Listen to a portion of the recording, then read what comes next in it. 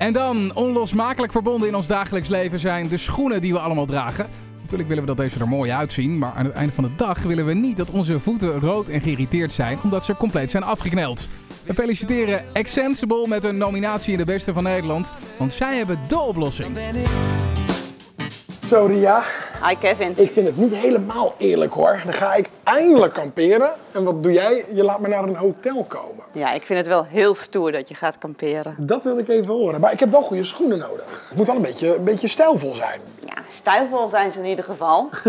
en daarnaast hebben ze nog een hele mooie zool met demping voor en achter. En in het midden een stabiel stuk. En een balanspunt. Want wat ik heel vaak heb, ik had het laatst ook weer met mijn vakantie, is dat ik eh, mijn schoenen s'avonds uitdoe en dan zijn mijn voeten helemaal rood. Nou, met deze schoen is het zo, aan de voorkant kunnen de tenen hebben iets meer bewegingsvrijheid. Als de voet dan iets uitzet, zit daar stretchmateriaal. Dus het loopt heel comfortabel. Nou, dan vind ik dit al een hele mooie schoen. Maar welke heb je voor mij in petto? Stijlvol blauw. Vind ik een hele mooie kleur, moet ik Nou, zeggen. wil je ze even passen? Ik ga ze even passen, ja.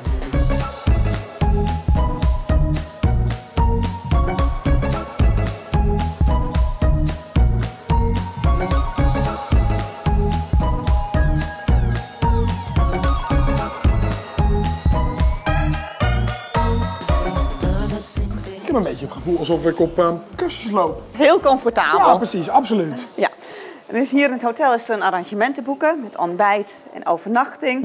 En er hoort ook nog een citytour bij. Mhm. Ja. Dus ik geef je vast je rugzak. Oh ja, inderdaad. Dan kan je weer verder met je kampeertocht. Maar we beginnen met een hele leuke stadswandeling. Nou, dan ga ik dat eh, gewoon even doen.